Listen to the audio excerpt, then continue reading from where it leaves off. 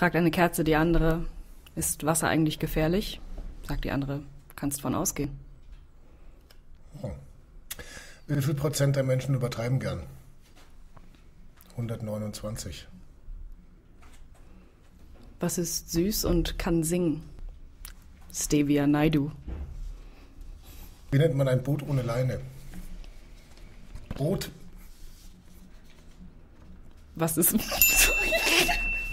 Warum gehen Ameisen nicht in die Kirche? Weil sie Insekten sind. Ja, der ist bekannt, der ist bekannt. Wo wohnen die meisten Katzen? Im Mietshaus. Äh, Türsteher auf Schwedisch? Lasse Reinström. Kommt ein Einarmiger in ein Secondhand-Geschäft. Der war sehr kurz. Hm, Was ist gelb und flattert im Wind?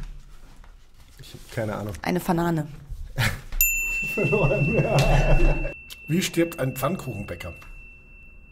Wie stirbt er? Er krepiert. Der ist Hm, lustig. Der ist schon lustig. Was ist grün und schaut durchs Schlüsselloch? Den hatten wir schon. Den Spionat? Nee, den hatten wir noch nicht.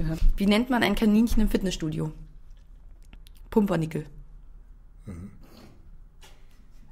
Wenn es lustig ist, muss ich lachen. Ein Vampir in der Polizeikontrolle. Der Polizist, haben Sie etwas getrunken? Und der Vampir sagt, ja, zwei Radler.